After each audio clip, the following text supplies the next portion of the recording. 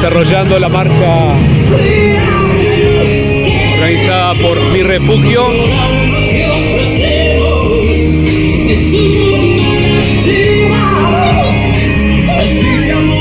Planteos concretos. Pedimos a los legisladores y autoridades que se comprometan con la protección animal. Queremos que el maltrato, abandono, tortura y muerte de animales sea tipificado como delito en el Código Penal.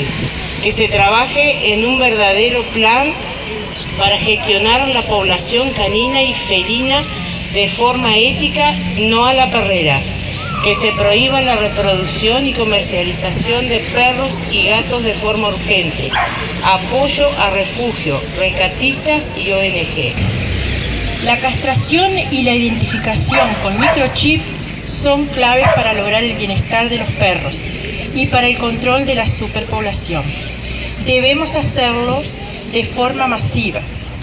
La ley 18.471 dice, todo tenedor a cualquier título de un animal deberá mantenerlo en condiciones físicas y sanitarias adecuadas, proporcionando alojamiento, alimento y abrigo en condiciones según su especie. Esa ley en la mayoría de los casos no se cumple y es ahí donde nos sentimos desbordados e impotentes y muchas veces sin los recursos económicos y de espacio.